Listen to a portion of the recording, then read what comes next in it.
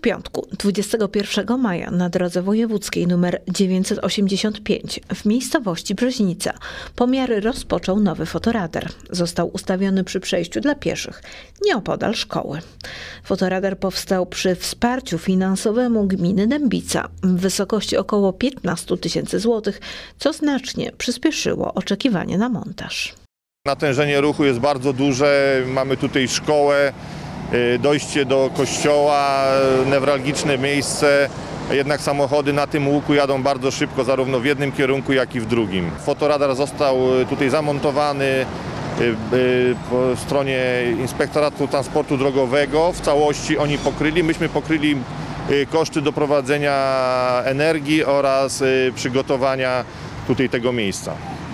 O poprawę bezpieczeństwa na tej drodze walczyli m.in. wójt gminy Dębica, Stanisław Rokosz, radnik gminy oraz Społeczny Komitet do Spraw Bezpieczeństwa w Ruchu Drogowym z Brzeźnicy.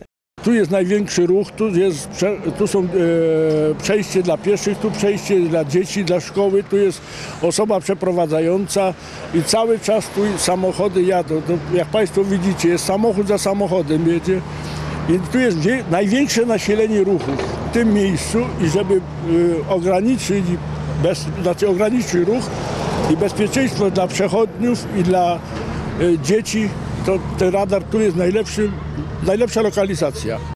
Podczas montażu fotoradaru obecny był także naczelnik Wojciech Zakrzewski z Głównego Inspektoratu Transportu Drogowego, delegatury Rzeszów.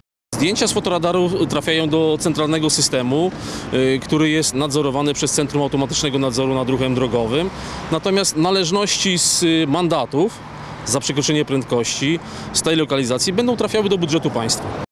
Dzięki dobrej współpracy z Głównym Inspektoratem Transportu Drogowego delegatura Rzeszów, podkarpackim zarządem dróg wojewódzkich w Rzeszowie, postawiony fotoradar w znaczny sposób poprawi bezpieczeństwo zarówno kierowców, jak i pieszych korzystających z tej drogi.